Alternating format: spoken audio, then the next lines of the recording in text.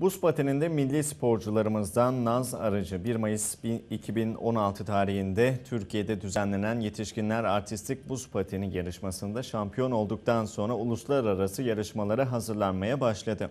Milli sporcumuz bir sonraki uluslararası şampiyonalarda Türkiye'nin başarısını arttırmak için elinden gelen her şeyi yapacağını ifade etti.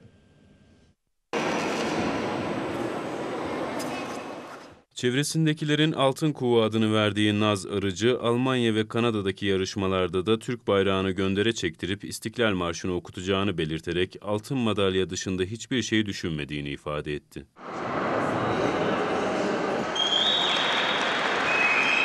Evet, iki tane şampiyonaya katıldım. Geçen seneki uluslararası, dünya çapındaki uluslararası yarışma benim ilk yarışmamdı. İlk defa katıldım ve Türkiye'den de ilk defa bir katılım oldu. Ee, ve o zamana kadar alınmış en yüksek puan alarak birinci olduk. Şimdi kendi rekorumu egale etmeye gidiyorum. İddialı hazırlandık. Antrenörüm Timuçin Özbükücü de ben de.